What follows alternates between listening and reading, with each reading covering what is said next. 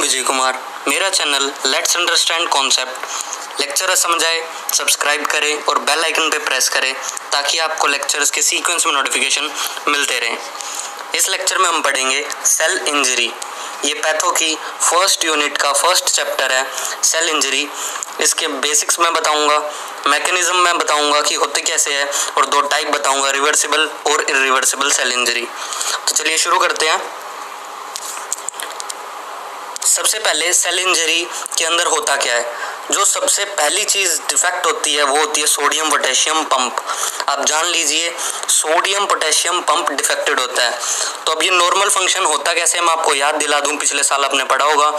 Sodium बाहर होता है 144 मिली इक्वलेंट्स पर लीटर अंदर वाली साइड होता है 14 milliequivalent per litre potassium बाहर वाली साइड होता है 4.2 मिली इक्वेलेंट पर लीटर और अंदर वाली साइड 140 मिली इक्वेलेंट्स पर लीटर तो सोडियम, तीन सोडियम अंदर आते हैं, जब जाके एक पोटेशियम बाहर जाता है। मैं बात कर रहा हूँ डिफेक्टेड सोडियम पंप की। जब ये सोडियम पंप डिफेक्टिव होगा तो सोडियम की जगह कैल्शियम अंदर आ जाएगा। अब मेरी बात को गौर से ध्यान दे के सुनिए, सोडियम की जगह कैल्शियम अंदर आ जाएगा। और ये जो कैल्शियम अंदर आया, अब ये करेगा सेल इंजरी। ये चार तरीकों से सेल इंजरी करता है।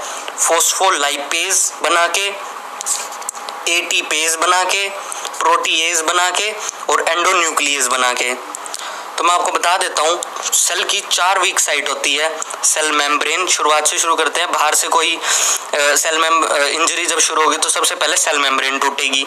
उसके बाद उसके अंदर जो एटीपी बन रहा था, वो टूटेगा। उसका प्रोटीन टूट जाएगा और आखिरी में उसका न्यूक्लियस टूट जाएगा। सेल मेम्ब्रेन तोड़ने के लिए फोस्फोलाइपेज एटीपी तोड़ने के लिए एटीपेज आर तोड़ने के लिए प्रोटीएज, न्यूक्लियस तोड़ने के लिए एंडोन्यूक्लियस।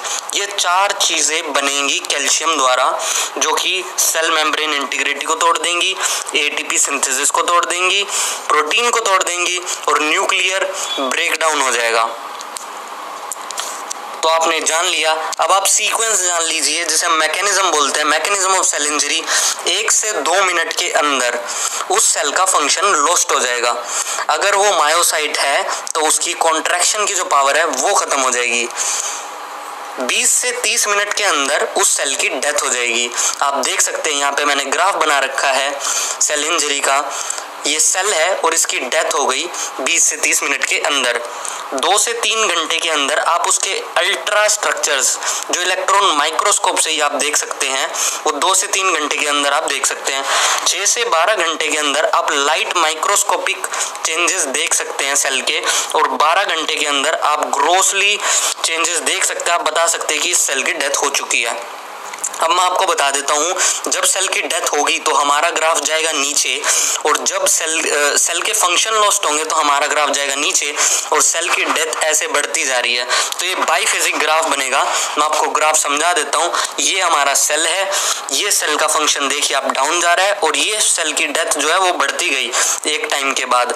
जहाँ तक सेल का फ़ंक्शन डाउन गया, उसको हम बोलते हैं रिवर्सिबल सेल इंजरी कि अगर इस सेल को सेल के ऊपर जो भी दबाव थी, अगर वो हमने हटा दी तो ये रिवर्सिबल है इंजरी हट जाएगी। सेल अपने आप ऑटोमेटिकली बैक अपने नॉर्मल फंक्शनिंग पे चला जाएगा। लेकिन अगर ये सेल इंजरी प्रोलॉन्ग रही तो डेथ को कोई नहीं रोक सकता। सेल डेथ अपने आप ऑटोमेटिकली बढ़ती गई।